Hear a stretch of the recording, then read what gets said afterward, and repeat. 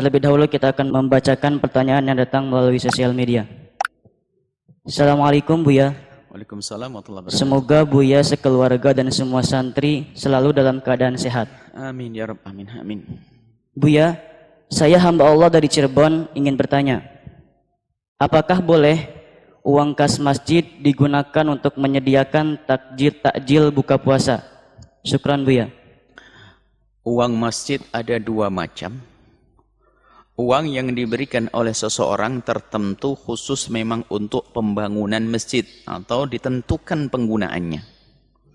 Jika uang ini yang pertama. Yang kedua adalah uang masjid yang diberikan oleh seseorang ke masjid tidak ditentukan penggunaannya. Jika yang pertama uang itu sudah ditentukan penggunaannya, nggak boleh kita rubah ke penggunaan yang lain. Saya bantu ke masjid, tolong itu buat pintu ya. Saya tolong nyumbang ke masjid untuk menaik gentengnya ya. Saya masjid untuk mengganti keramiknya ya. Maka tidak boleh diganti yang lainnya. Karena sudah tertentu.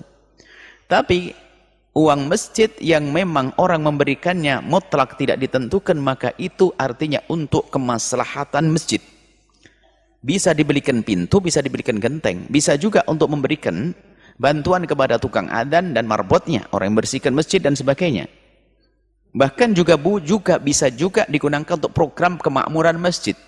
Membuat madrasah, menyiapkan guru-gurunya, diambilkan dari duit tersebut karena intinya untuk kemaslahatan masjid. Dan termasuk di antaranya adalah bisa digunakan untuk ya meramaikan masjid karena buka bersama di masjid sah. Karena kepentingannya di masjid untuk meramaikan masjid. Karena orang ingin sholat berjamaah, tapi kalau buka di rumah nggak akan sholat di masjid. Karena dia buka di masjid, takjil di masjid, maka dia akan sholat di masjid. Maka masih ada hubungannya dengan masjid.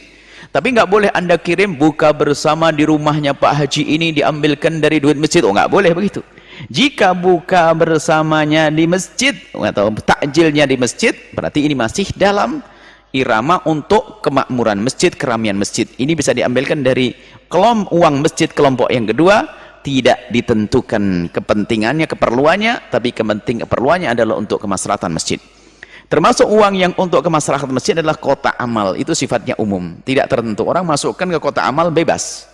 Untuk beli air boleh, beli ini boleh, untuk kepentingan masjid pokoknya. Seperti itu. Wallahu a'lam bissawab.